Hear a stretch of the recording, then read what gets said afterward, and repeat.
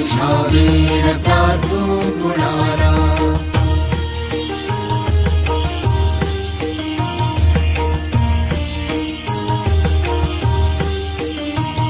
मला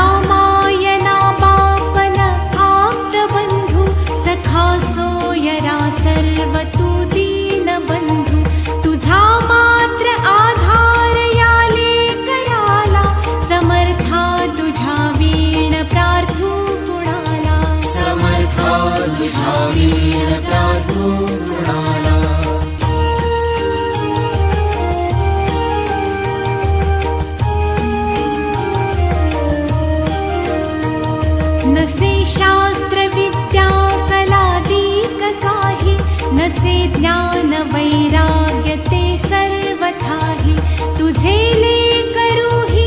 अहंता मनाला समर्था तुझा वीण प्रार्थू